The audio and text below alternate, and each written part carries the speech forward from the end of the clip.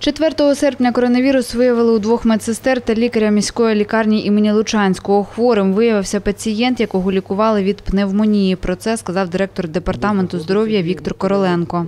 Вчора у лікарні імені Лучанського е, було методом ПРЛ досліджено і підтверджено випадки коронавірусного захворювання як у хворих, так і в медичних працівників. Було е, виявлено коронавірус методом ПЛР у е, лікаря, у двох медичних сестер і в хворого, який знаходився в цьому відділенні. Він був тестований 24 числа е, методом ІФА. Е, 29-го при поступленні робили, е, до речі, йому ще робили швидкий тест.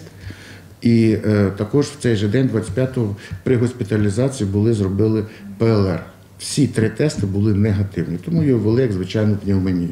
У пацієнтів та медичних працівників приймального та ще кількох відділень лікарні Лучанського відібрали матеріал для обстеження. Усього близько 100 проб. Опівночі було виявлено ще два підтверджених випадки захворювання, розказав Віктор Короленко. І вже сьогодні на ранок, буквально півтори-дві години назад, е, повідомили е, лабораторний центр про ще три підтверджених випадки. Це два е, хворих, які знаходяться у відділенні, е, в цьому ж самому відділенні, і один медичний працівник.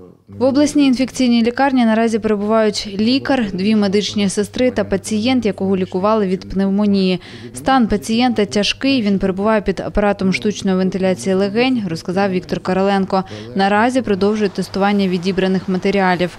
Аліна Олефір, Григорій Шматко. Новини на Суспільному. Херсон.